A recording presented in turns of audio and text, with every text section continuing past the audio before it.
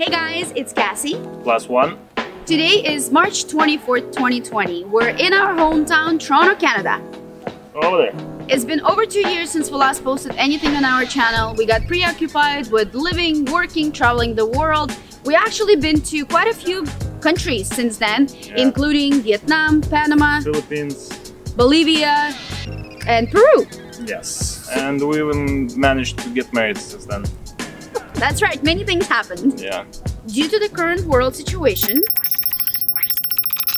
we have lots of free time on our hands. We decided to put this time to good use and continue working in releasing videos from our trips from previous years. If you find our videos interesting and entertaining, please subscribe to our channel and follow our adventures. We would appreciate if you have any feedback or suggestions and also don't be shy to ask questions. Today we lucked out with the weather. It's actually sunny for the first time in days and not as grim as yesterday when it rained Yesterday the whole day. It was terrible. It was terrible. Yeah. We tried filming yesterday, got super cold and rained on, and decided to give it another shot today. Let's talk a little bit about how life in Toronto is going right now. The streets are empty, the traffic is pretty much non existent, and most businesses are closed, including Bars, restaurants, museums, movie theaters. So yeah, it's pretty boring. pretty boring. And what concerns me the most, being a girly girl, is that all the spas, hair salons, and nail salons are shut down. That's very upsetting because girl gotta get her nails done. But the good news is the LCBO is still open. So they can drink their sorrows away. LCBO exactly. LCBO is our liquor store, and when the nails gonna start falling off and the eyebrows gonna start getting bushy, that's when we're gonna need all the wine in the world. I don't need it, I don't drink it. So ah. Whatever. who cares about LCBO?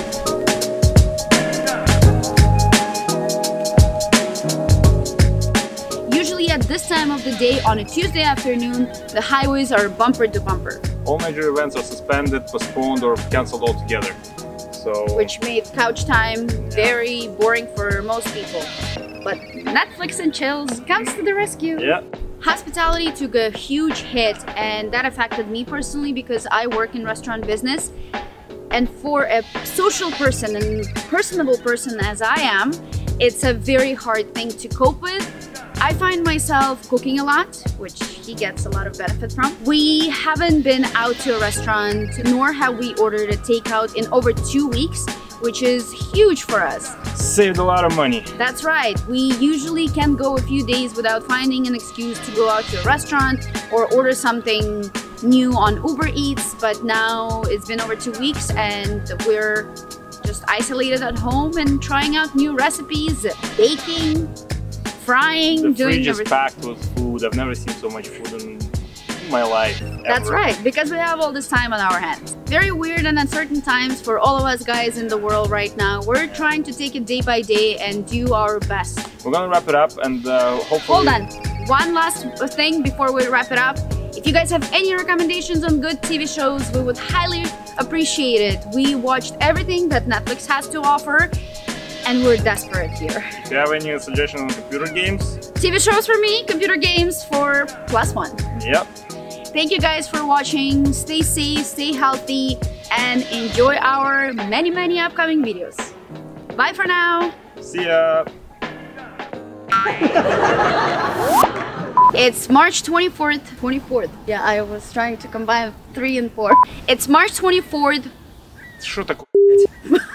Давай. 24th. Бать, Fourth. Полюсю. Fourth. Fourth. Don't spit on me. Philippines, Bolivia. Yeah. So we've we've- we've we've even met, uh, we even got mem- We've not. Значит, ты как-то там говорила, что оно там все закрыто. Насрал на тебя? За голову? Please help me. Что?